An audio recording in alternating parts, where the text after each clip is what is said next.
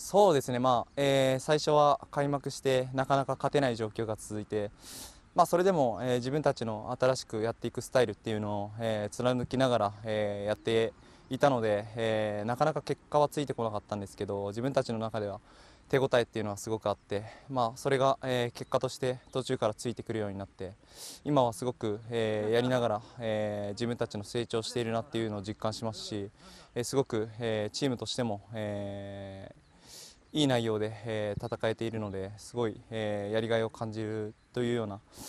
え内容ですし、えすごく今やっていてチームとしても、えサッカーが楽しいなっていう状況にあるのかなとは思います。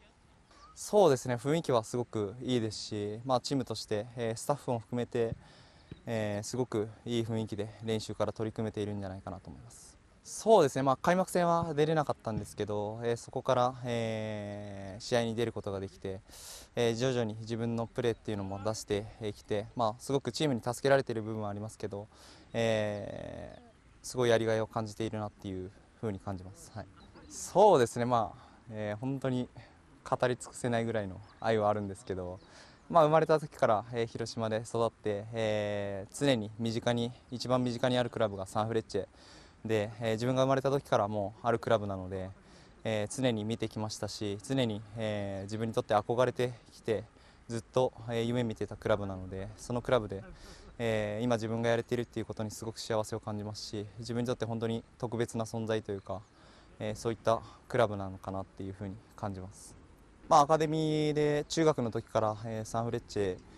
でプレーしてましたけどやっぱりプロになって、えー、プロのピッチで、え、紫のユニフォームを着るっていうのは、えー、来た瞬間すごく特別な感情が、えー、芽生えましたし今まで経験したことのないような感覚ではあったんですけど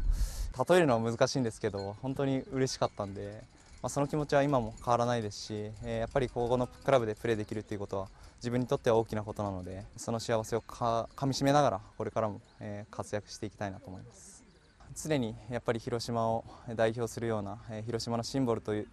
なるようなクラブで、えー、居続けたいですしそういう存在になり続けたいですし広島だけじゃなく、えー、日本の日本を象徴するような J リーグを象徴するようなクラブに、えー、もっともっと、えー、発展させていきたいという思いがありますしそれに、えー、自分自身も貢献していきたいですしずっと、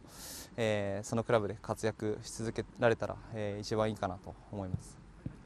そうですね、まあ、ずっと、えー、サポーターの皆さんは自分たちと選手と一緒に戦ってくれていますし常にやっぱり、えー、つながりっていうのを、えー、お互い感じ続けながら、えー、共に成長していきたい存在だなと思いますし、まあ、自分たちはもっともっと、えー、サポーターの存在を、え、大切に感じながら、え、より深い関係に、え、なっていけたらいいですしお互いえ、広島をもっともっと盛り上げて、えー、クラブをもっと発展させていけるような、えー、そういった存在にお互いで、えー、なっていきたいなと思います。そうですね、まあえー、ここまで最初はうまくいかなかったんですけど、え、そこから結果も出るようになってすごくチームの調子は上向きですし、え、クラブも30周年ということで、えー、この年にやっぱりタイトルっていうのをえー、タイトル争いをしてタイトルっていうのを、えー、この節目の年に奪いたいですしそのためにもっともっと自分たちは、えー、成長してい、えー、かないといけないいけないですけど、えー、可能性は、えー、あると信じて、えー、やっていきたいと思いますし、えー、このクラブをもっと発展させるためにもタイトルを目指して頑張りたいなと思います。そしてまあ自分も、えー、そうなった時に、えー、すごく貢献できたなっていうようなそういう活躍を、えー、したいですしもっともっと、えー、結果を出して、えー、チームを引っ張るような存在になっていけたらいいかなと思います。